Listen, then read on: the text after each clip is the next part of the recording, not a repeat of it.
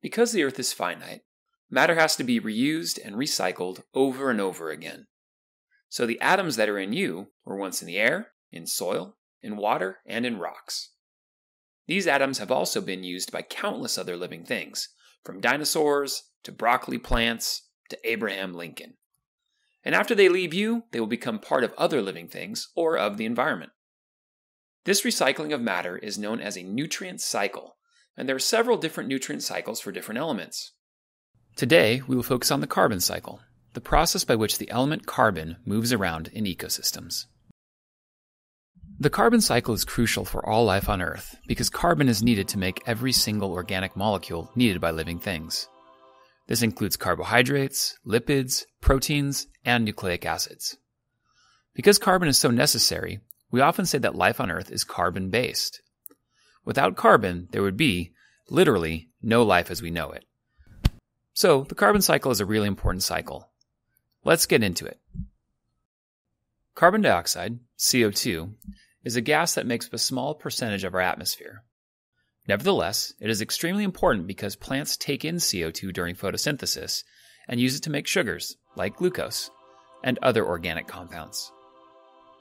This is how plants grow and make the food that supports life in ecosystems. Notice that plants remove carbon dioxide from the atmosphere during photosynthesis, using the carbon to build carbon rich molecules like glucose. These carbon compounds can be broken down by the plant to produce ATP, a key energy molecule used by living things, in a process called cell respiration. Respiration produces CO2 that is released back to the atmosphere. You may have noticed that we have already completed the cycle since the carbon atoms have ended up back where they started.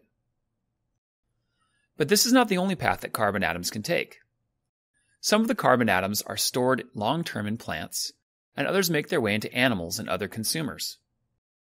Anytime an organism eats another organism, carbon moves into the eater. This carbon is used to build the organic molecules that make up the bodies of living things. It can also be used in respiration to make the ATP energy that animals need to function. Respiration from animals also produces CO2 that the animals breathe back out, returning it to the atmosphere, or water if you're aquatic. When organisms die or produce wastes, decomposers like bacteria and fungi break down the carbon compounds that are present in the dead bodies or wastes.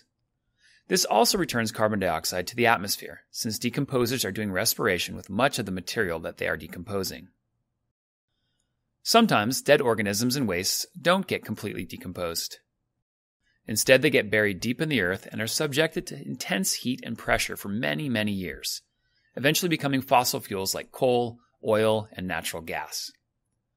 These fossil fuels store carbon compounds for very long periods of time. Since these carbon compounds have a lot of stored energy in them, people mine and drill for them in order to use them as energy sources to power our technologies, like factories, vehicles, and power plants. Burning fossil fuels also releases CO2 to the atmosphere. This process of burning things is called combustion. Notice that burning fossil fuels adds CO2 to the atmosphere that had been removed from the cycle for a very long time, causing an increase above typical levels for our geologic time period. Since CO2 is a greenhouse gas, this extra CO2 can impact Earth's climate. So, there you have some of the most important aspects of the carbon cycle. Notice that carbon moves from the atmosphere to living things through photosynthesis, and that carbon gets returned to the atmosphere by respiration, decomposition, and combustion.